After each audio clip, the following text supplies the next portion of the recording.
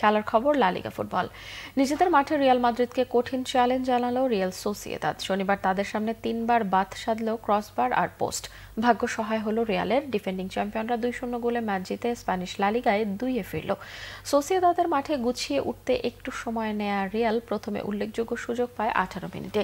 Kylian এমবাপের shot ঠেকান গোলরক্ষক অ্যালেক্সিক্স রেমিরো।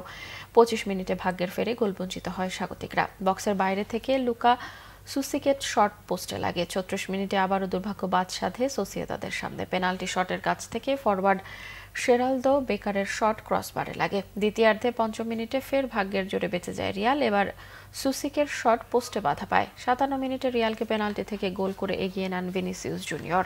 আর্দো গিলের জোরালো shot ডিবক্সে defender গোমেসের হাতে লেগেছিল। পঁচাত্তর মিনিটে ফের পেনাল্টি থেকে রিয়ালের ব্যবধান দ্বিগুণ করেন এমবাপ্পে। ডিবক্সে এবার ভিনিসিউসের ফাউলের শিকার হয়েছিলেন এবং লালিগায় প্রথম তিন ম্যাচে গোলহীন থাকা এমবাপ্পের পাঁচ ম্যাচে গোল হলো তিনটি। এই জয়ে রিয়াল পাঁচ ম্যাচে এগারো পয়েন্ট নিয়ে লিগ টেবিলের দুইয়ে উঠেছে আর চার ম্যাচে পূর্ণ বারো পয়েন্ট নিয়ে শীর্ষে বার্সেলোনা।